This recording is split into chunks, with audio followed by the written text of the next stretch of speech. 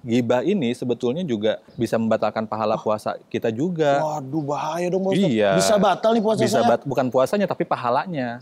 Minum dong sekarang. Ah, nggak nggak gitu juga konsepnya.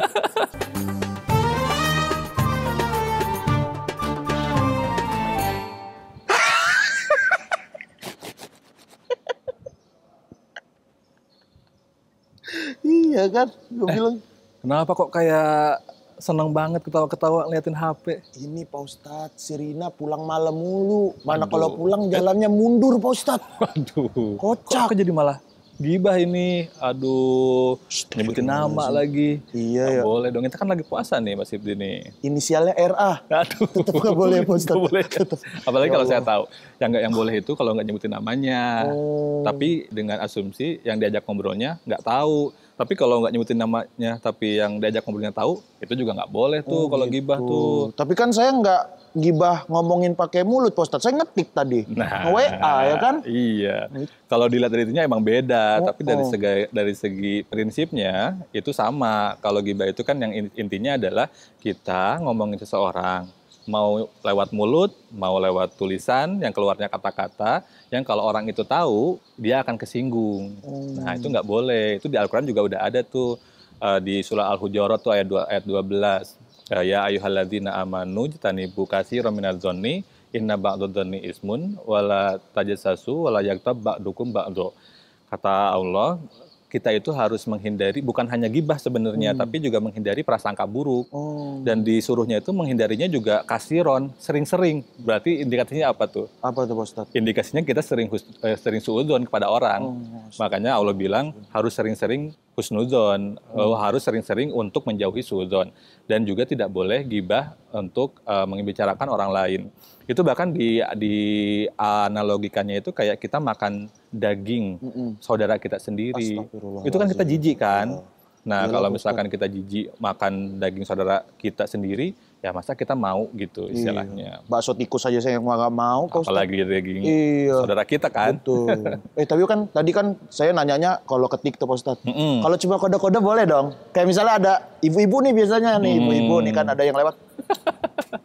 Nah, itu Ya, juga. itu, itu nggak apa-apa dong. Tapi kan kodenya Iya memberikan kan? pengertian, Kayak- Mas. Kan kode doang. Mimik nggak bisa. Tapi kalau misalkan walaupun kode, kalau misalkan ah, orang yang ngobrolnya ngerti, Oh. kita lagi ngomongin siapa, nah itu nggak boleh juga. Itu kan juga sama kan kalau lagi nongkrongan Iya. bertiga, dua orang pergi, eh satu orang pergi, Heeh. yang di, dia diomongin kan. nah gitu. Emang Pak ngerti apa saya tadi? Kayaknya Apa secara Ustadz? Umum. Pak Ustadz juga bisa ternyata ya. Ternyata Pak Ustadz juga.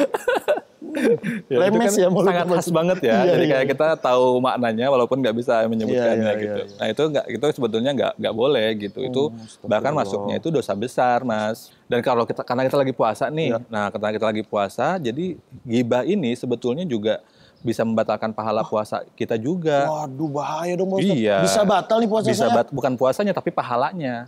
Minum dong sekarang. Ah nggak nggak gitu juga. Kalau kalau tahu gitu saya minum nih. Saya beli RS nih. Saya cari es Biar sekalian gitu ya. Iya. Kalau gitu ya Pak Ustadz. Nggak gitu juga. Tapi maksudnya adalah uh, kata Rasul uh, kamin soimin laisalahu min siamihi ilal ju wal ghusl. Jadi banyak sekali di antara umatku yang dia puasanya itu nggak dapat apa-apa kecuali lapar dan dahaga aja gitu. Artinya apa? Berarti artinya puasanya itu belum berhasil untuk menghasilkan ketakwaan ke dalam dirinya gitu. Puasa itu kan sebenarnya imsak, Mas. Iya. Imsak itu bukan yang waktu ada suara dari masjid sebelum subuh, bukan. Tapi imsak itu kan menahan diri gitu. Nah, menahan dirinya tidak hanya dari dari makan dan minum, tapi juga dari syahwat. Melihat sesuatu yang menimbulkan syahwat juga nggak boleh. Berkata bohong, al-kazib juga nggak boleh, gibah juga nggak boleh, namimah juga nggak boleh, sumpah palsu juga nggak boleh. Nah, jadi puasa ini sebenarnya adalah kontrol diri gitu. Ustadz, tapi kan kalau kayak saya kan stand up komedian nih Pak Ustadz. ya. Mm-mm. Kadang-kadang kan saya suka ngomongin bukan orang perorangan tapi perilaku masyarakatnya nih. Hmm. Kan suka yang aneh-aneh Ya, gitu kan. ya, Nah itu ya. suka saya bikin Ya, uh, materi ya. jokes-jokes lucu-lucu. Tapi kadang juga nggak lucu sih Ustadz. nah itu gimana kalau ngomongin perilaku masyarakat gitu? Boleh nggak Ustadz? Bolehnya kalau lucunya atau kalau nggak lucunya nih mas? Ya dua-duanya. Dua-duanya. kalau ngobrolin perilaku masyarakat itu sebenarnya kan kayak otokritik bersama Oh. kan. Jadi itu kan nggak apa-apa. Misalkan kita ngobrolin orang-orang yang eh, taraweh, tapi Iya. dia nggak taraweh, cuman Betul. ikut ngambil makanan di masjid aja. Iya, itu kan nggak satu orang tapi banyak kan. Iya, taraweh malah di belakang doang tuh. Ya. Buku Ramadan biasanya tuh anak Nah, kecil, itu, itu kan oknum ya. Iya, Itu. saya dulu zaman kecil taraweh malah itu makan kacang atom Pak Ustadz. Oh di sini ya. Kayaknya itu jadi apa ya? Jadi kebiasaan lazim anak-anak ya. Iya, nah itu kalau itu kalau kita ngebicarain fenomena bersama, orangnya banyak, itu nggak apa-apa Iya. Karena itu bagian kritik ya. Tapi kalau kita ngobrolin, ih si Rani kayak tadi, Ah. nah itu yang nggak boleh. Apalagi kalau saya kenal Raninya. Oh Rina gitu. saya tadi, bukan Oh, Rina Rani. ya? Kalau Rina boleh berarti Pak Ustadz. Aduh, iya saya tadi nggak nyari Rani, Rina ya. Ayo Rani sama Pak Ustadz. Nah, lo. Istri Pak Ustadz nonton. Waduh. Waduh. Saya adu ini. Waduh, maklum lagi puasa. Iya, iya, iya, agak iya. tidak fokus jadinya.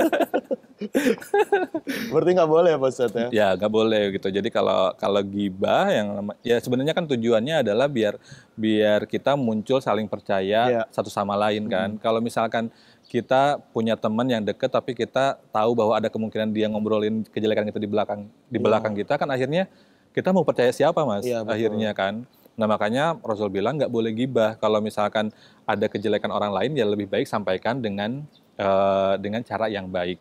Falyakul khairan awliyasmut. Komunikasikan dengan cara yang baik sehingga dia bisa tahu apa yang salahnya. Kalau gibah kan sebenarnya kita nggak berusaha menyelesaikan masalah atau ngasih masukan kan. Kita inginnya me- apa ya eh, apa ya memuaskan diri dengan menjelek-jelekan orang Iya. dengan harapan kita jadi merasa lebih baik dengan Iya. dengan tahu orang lain Hasrat lebih doang sebenarnya ya. Hasrat menyelesaikan doang. apa pun ya Pak Ustadz. Betul, nggak menyelesaikan apa pun. Nah satu lagi nih Pak Ustadz. Mm-mm. Kan saya kan udah suami istri nih Pak Ustadz Mm-mm, ya. mm-mm, mm-mm. Saya istri ada suami nggak ada. Bercanda Pak Ustadz. Saya suami dong. ya jadi kan kadang-kadang kalau kita lagi ada pusing gitu kerjaan di kantor atau kerjaan sama teman-teman Iya, gitu. iya, nah itu iya. kan kadang butuh curhat Pak Ustadz. Nah itu Hmm. gimana tuh kan sama istri sendiri kan itu Ya. jatuhnya curhat tuh Pak Ustadz. Apakah Wah. itu gibah atau curhat tuh Pak Ustadz? Waduh, itu pertanyaan pertanyaan menarik nih. Kalau Iya, Pak misalkan eh, kita maksud curhatnya adalah untuk nyari solusi dari persoalan Iya. itu, dan kalau misalkan bisa diusahakan kita nggak menyebut namanya, nggak nyebut merek lah istilahnya, nah itu nggak apa-apa. Tapi kalau misalkan kita tujuannya curhat untuk mengeluapkan kekesalan atau untuk menjelek-jelekan orang ini, nah itu yang nggak boleh gitu. Kalau misalkan kita sharing dengan istri, oh teman kerja saya begini begini begini, nanti dapat masukan, kemudian kita gunakan masukan itu untuk memperbaiki hubungan relasi, itu eh, menurut saya nggak apa-apa, sah-sah saja. Karena para sahabat juga kadang-kadang ketemu Nabi, wahai Nabi, sahabat ini begini, itu gimana ya? Nah itu kan bukan menjelekan sahabatnya, tapi Iya, nyari ya, kira-kira solusi ya, caranya. Gitu. ya. Nah betul, solusinya gimana gitu. Nah, berarti kalau Rina tadi biar nggak jalan mundur gimana Pak Ustadz? Biar dia jalannya maju Pak Ustadz. Jangan butuh ke dokter gitu ya. Lagian dia ngapain jalan mundur ya Pak Ustadz?